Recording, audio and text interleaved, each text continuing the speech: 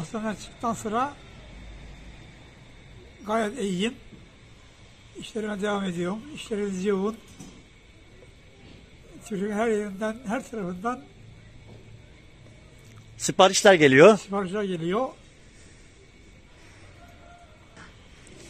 Torunum, damadım, üçümüz beraber iki tane iş yerimiz var. Biraz birinde, biraz birinde Dedem e, hastaneden çıktıktan sonra şu anda sağlık durumu iyi. Hala aktif olarak çalışıyor. E, görüldüğü gibi zaten şu anda. Yaş kaç bu arada E, Şu an dedenin? 88 yaşında.